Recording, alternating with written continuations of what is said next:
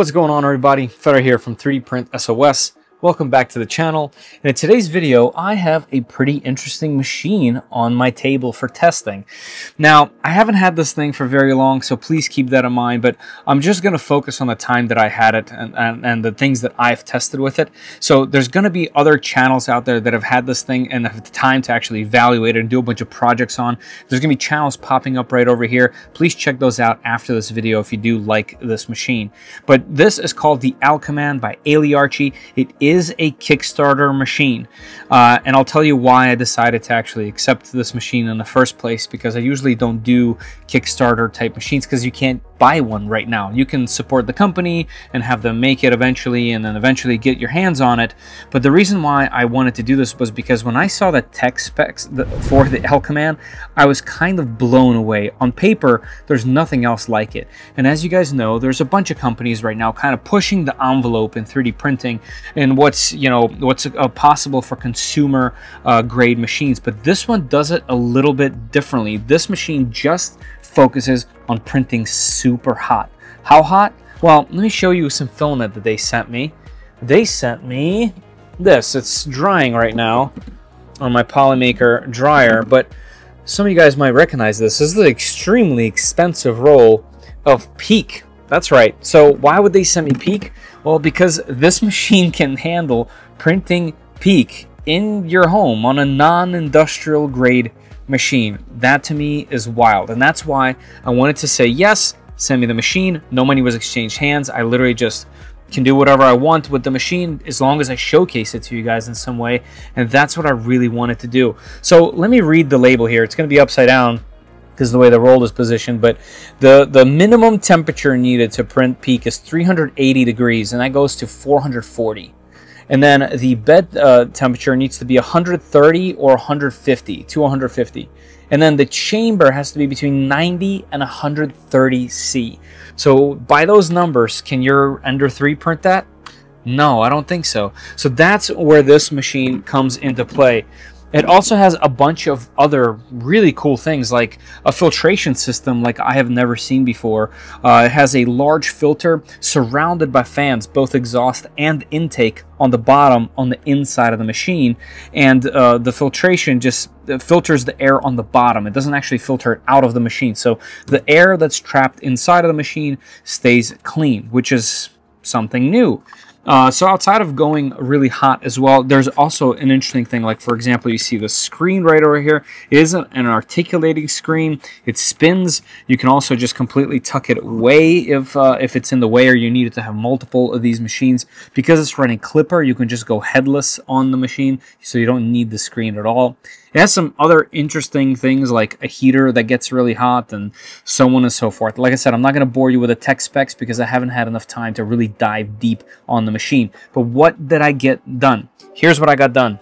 I printed a whole bunch of drone parts because one of the other reasons why I said yes to this machine is, well, you guys know I'm really into FPV. Uh, I've been flying for some time now. I'm a licensed pilot. I have many, many drones. I've built so many drones, anything from 5-inch freestyle quads to, to whoops anything and everything that flies. I kind of want to get my hands on it and try it. It's just something I love. So when they message me that they want me to 3D print an FPV drone, my instant reaction is, well, if I know anything about building FPV drones, is yeah, you can print frames for them because PLA, for example, is rigid enough.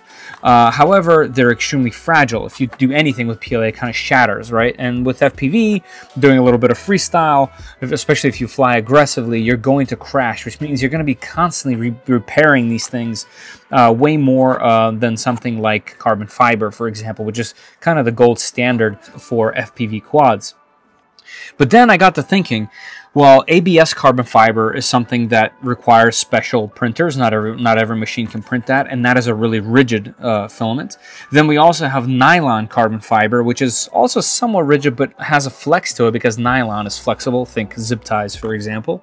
So then uh, I saw their uh, their actual quad kit, and this does have some changes, but uh, this is essentially what I came up with. I printed the Whoop part in uh, some nylon and that has some flex to it. Not as much as TPU would for example but it's rigid yet impact resistant because it has a little bit of flex which is perfect. Then to have the motors mounted you want as much rigidity in FPV uh, uh, drone as possible so that there's no weird oscillations and uh, the uh, flight controller doesn't go crazy. So this we printed in some glass fiber um, uh, ABS, and this is way more rigid. Here's an example of it printed in nylon, and as you can see, those motors would be flopping all over the place. So we got some really rigid ABS glass fiber mounted to some um, some nylon glass fiber or carbon fiber rather, and we get this kit. So this helps me answer, can you now 3D print your own FPV quad frames. And the reason why that's important uh, is because, well, for example, when I ever build uh, an FPV quad, I end up having to buy extra arms or frames or parts because when you wreck, especially real hard, and you break that carbon fiber frame, well, you have the mercy of the manufacturer. They might even discontinue it and you might not even have those anymore. But in this case, you could just print your own replacement parts. And if you are fly flying aggressively or even just learning, it becomes a lot less of a big deal and something like this can really get you there right so as soon as i heard that i, I had to try it so uh, here is a short reel of me assembling this thing. Uh, there are some changes since then, like a different camera that I put on there and a different receiver because I wanted to use my own uh, transmitter. But check this out and check out the flight that I was able to capture. Uh, this isn't the very first flight. It's about the second or third battery pack that I had through it at uh, at my in-laws house there. But check it out and I'll see you here in just one second.